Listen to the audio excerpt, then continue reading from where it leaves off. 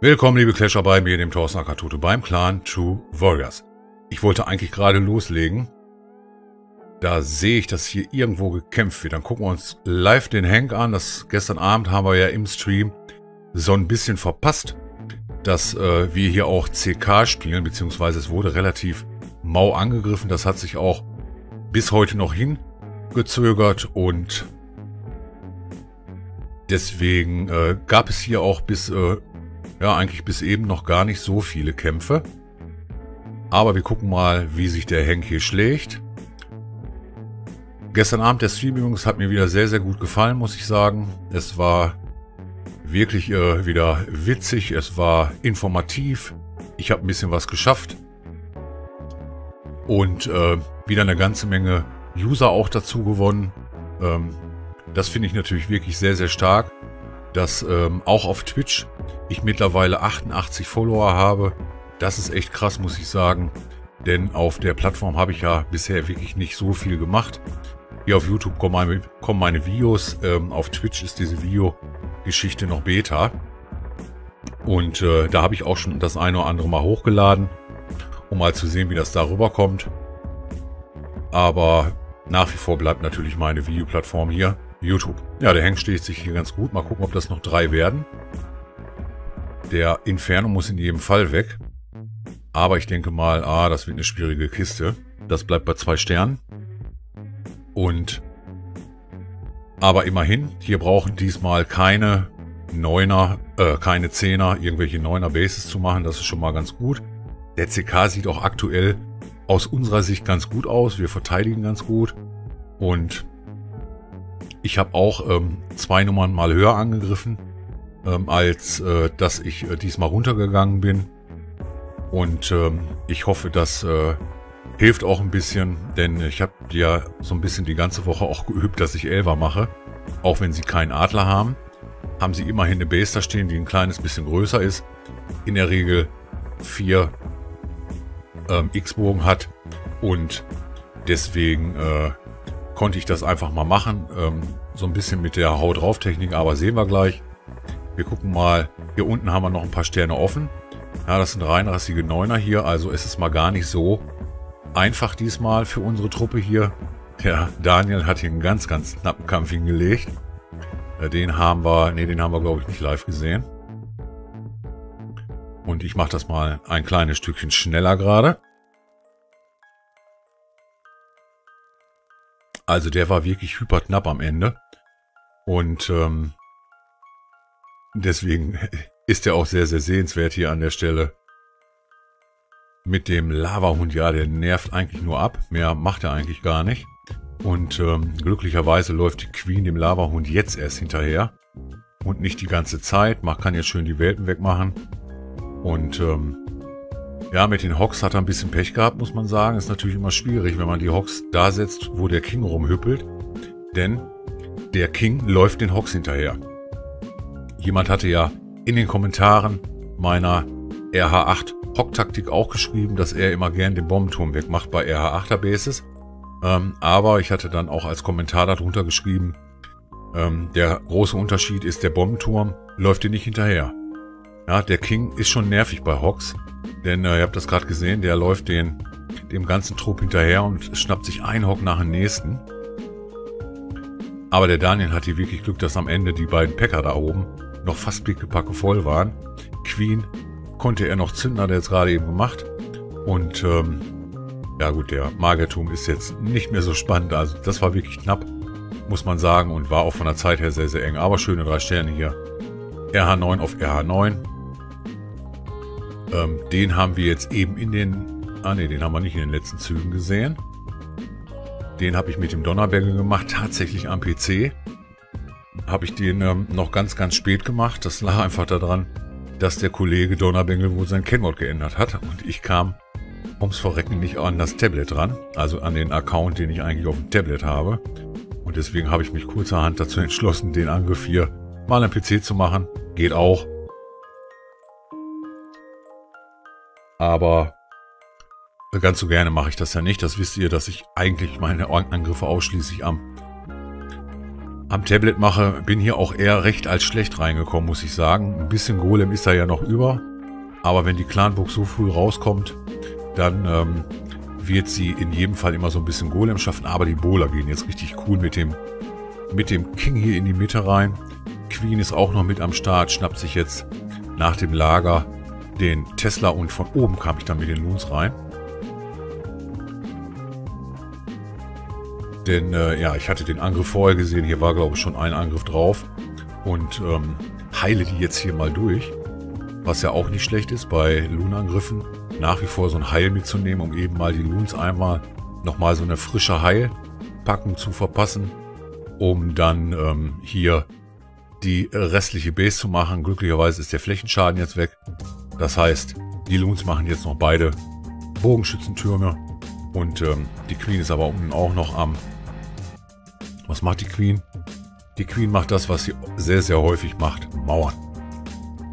Aber es macht nichts. Dafür gibt es ja die anderen Truppen, um das Cleanup hier zu machen. Die ganz vielen Lava-Welpen, die Ballons und noch der ein oder andere Bogi.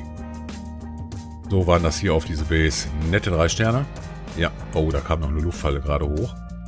Aber dann war der Kampf auch schon vorbei. Okay, wir hangeln uns mal ein bisschen höher hier. Was haben wir hier? Äh, von Ronin, den hatten wir, glaube ich, nicht gesehen. Ne, den hat er auch heute erst gemacht. Die Base, glaube ich, habe ich mit dem Donner als erstes gemacht. Habe ich leider nur zwei Sterne geschafft. Obwohl ich Queen ähm, die Feger gepackt habe und auch zwei La ist mir nicht gelungen, hier Dreier zu holen, denn der Flächenschaden am Ende hat meinen Loons ganz stark ähm, ins Gewissen geredet. Das heißt also, da der Magerturm, der gerade weggegangen ist und der Magerturm hier auf der Seite, haben den Rest meiner Loons gepackt, obwohl es noch 6, 8 Loons, glaube ich, waren. Aber die waren alle schon angehittet. Und ähm, so habe ich hier nur knapp den Dreier verpasst. Aber der Ronin macht das hier auch mit Gola Loon. Ah, okay, sehe ich jetzt gerade. Super Sache.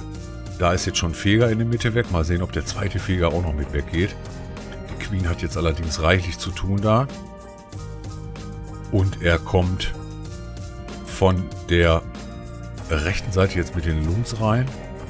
Muss mal eben schauen. Ja, das sieht noch gut aus.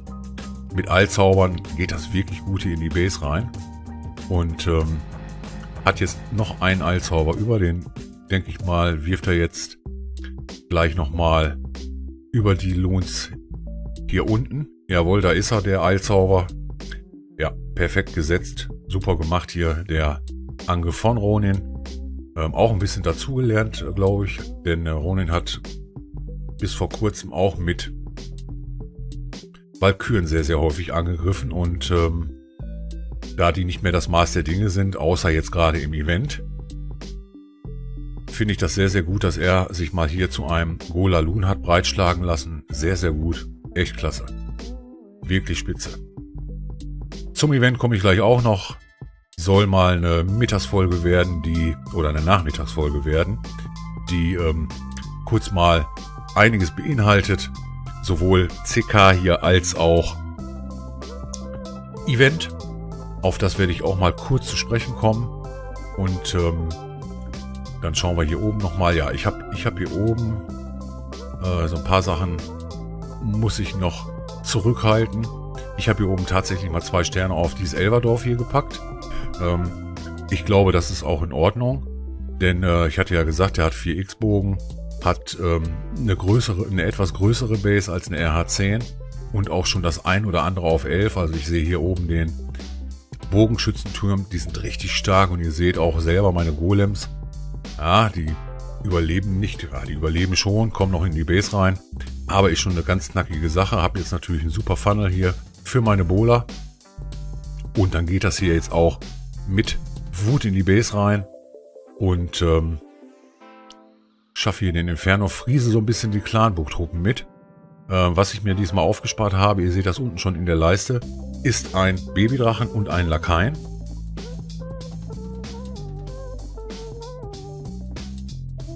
Denn es sollte mir nicht nochmal passieren, dass ich am Ende irgendwo, dass mir so ein Prozent oder so fehlt. Und deswegen habe ich mir die einfach mal bis zum Ende aufgespart und habe sie nicht mit am Anfang gesetzt. Die machen ja auch, äh, können ja auch zu Anfang für etwas Trouble sorgen, indem sie beim Funnel helfen. Aber hier hatte ich bis dato 47 Prozent und ähm, ich glaube, hier unten der Bowler schafft jetzt den 48. Prozent. Die Queen überlebt das jetzt natürlich nicht, das Geballere vom X-Bogen. Und ähm, so habe ich hier unten schon mal meinen Lakaien gesetzt. Ich zoome mal ein bisschen rein. Ja, aber der äh, bringt jetzt, obwohl ich glaube, der macht gleich auch noch die Kaserne.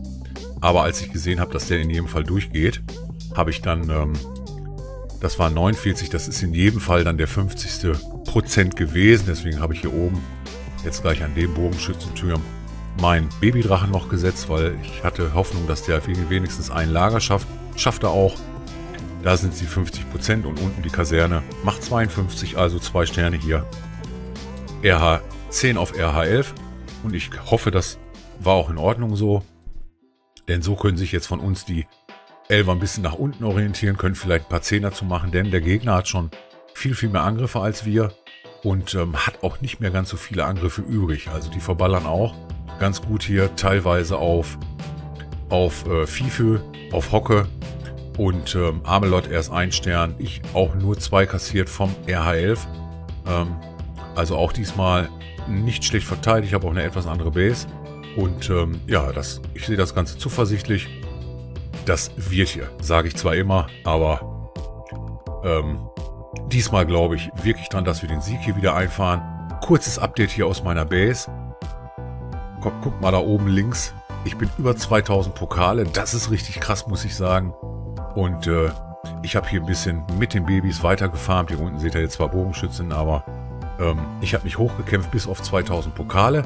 Das nur als Update aus dem Bauarbeiterdorf. Hier bin ich auch relativ hoch in den Pokalen, weil ich immer noch am Üben bin.